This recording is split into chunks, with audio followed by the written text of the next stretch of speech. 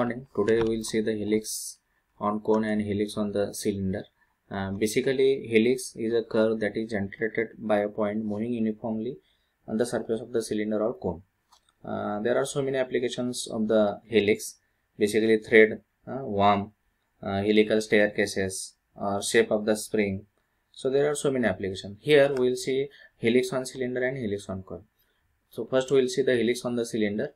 Question is given here. A point is moving around the cylinder surface uh, of 40 mm diameter and keeping speed uniform. Simultaneously it advances in the direction of the axis by 55 mm also with uniform speed. Now here axis height is given 55 mm base diameter is given. Now this is a uh, basically first angle projection method. So here in front view we are looking uh, rectangle and top view we are looking the circle having base diameter 40 mm so basically helix on cylinder is actually curve generated by a point which moves around the surface of the cylinder and at the same time it advances in the axial direction at a speed which gives constant ratio to the speed of the rotation. Now here what is the method? So here first you draw the circle having 40 mm diameter you divide the circle into 12 equal parts that is 30 degree angle then you project here all points 1 2 3 4 5 6 7 so this rectangle is again divided into so many parts. Now this is the development of the lateral surfaces. Basically here we have to obtain the pi d distance. So circumference this approximately you are getting 125.6 so this, this uh, uh, distance divided into 12 equal parts because we have divided the circle into 12 equal parts. So here you have to divide into 12 equal parts. So again 1 2 3 4 up to 12 These 12 parts we have divided. Then uh, you draw diagonal because uh, this point is moving with uniform speed along the axis or around the cylinder.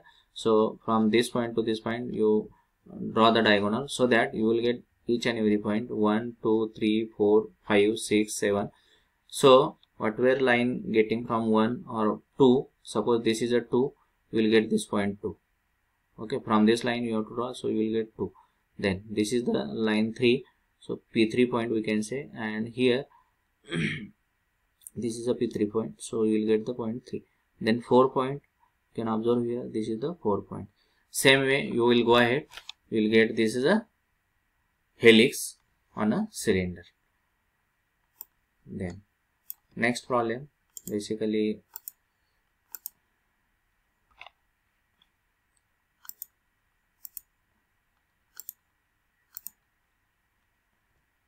so here another problem we will take here.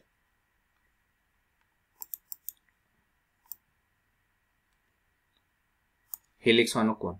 So problem is draw helix of one convolutions upon a cone. Base diameter is 60 and axis is 80 and pitch is 80 mm. Or same problem can be asked here. A triangle uh, we can say right angle triangle uh, of two sides of length 30 mm and height 80 mm then an hypotenuse 87 mm H1 figure triangle is completing one rotation uh, revolutions.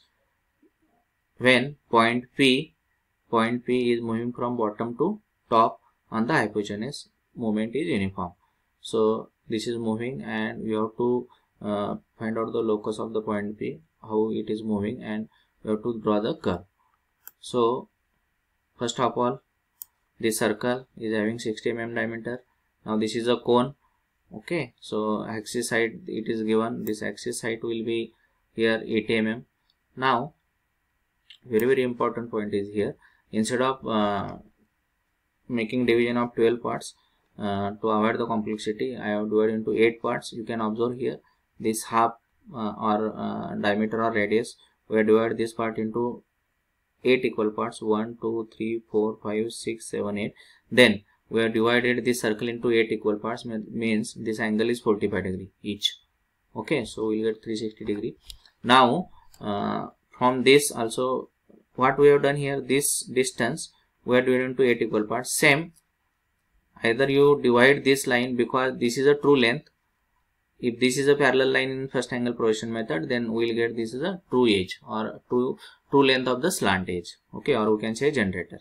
So again this length or generator you have to divide into 8 equal parts. 1 2 3 4 5 6 7 8 or simply you can uh, go there point 1 2 3 4 you will get these points.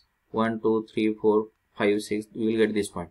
Now uh, what we have done here how we will get this curve it is more, more important. Now here you can see that uh, first of all this is a center and we are taking this as a radius. So first point we are getting here.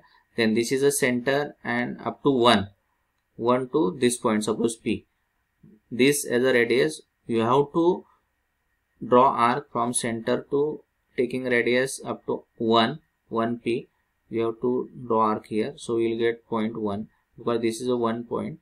Then 2 then 3 4 then taking center point say uh, taking this center and up to this point 2 is a radius draw arc here then taking 3 draw arc here then taking 4 draw arc here.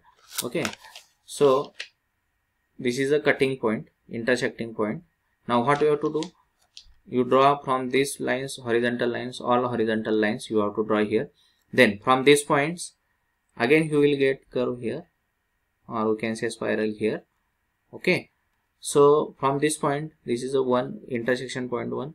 Okay. From this point you draw direct line then you can see here 3 here is 3 you will get this point then again 4 you will get 4 then 5 you can observe here basically where is the 5 this is the 5 point okay so we will get the 5 point so again 6 then 7 okay and then last point 8 so you will get this is a curve we are getting on the helix on the cone basically this is a rear side or this is a hidden side we can say we can see uh, when observer is look, from looking from this side then only up to this point you can see after that you, you have to draw the dotted lines. And this is related to the helix of the cone.